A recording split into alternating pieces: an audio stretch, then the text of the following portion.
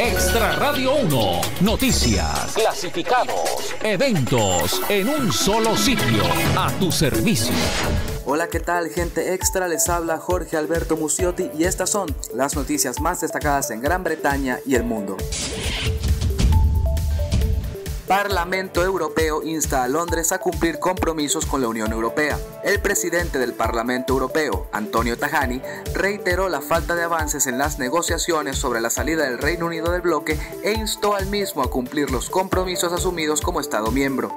El político italiano reconoció el enfoque constructivo de las últimas declaraciones de la primera ministra británica Theresa May, pero consideró insuficientes los progresos alcanzados.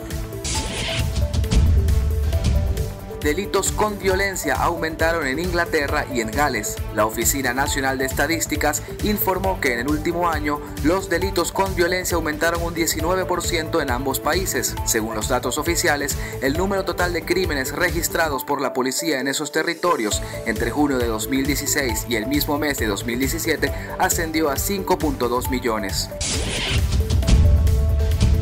Sepultura incluye al Reino Unido en su gira europea. Gran Bretaña será uno de los escenarios donde la banda brasilera de thrash metal estará promocionando su más reciente producción titulada Machine Messiah. La gira europea de los intérpretes de Roots Bloody Roots y Territory, entre otros éxitos, iniciará en la alemana Leipzig y también estarán en otros países como Italia y Holanda.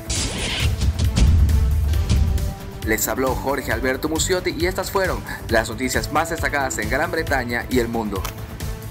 Extra Radio 1, noticias, clasificados, eventos en un solo sitio, a tu servicio.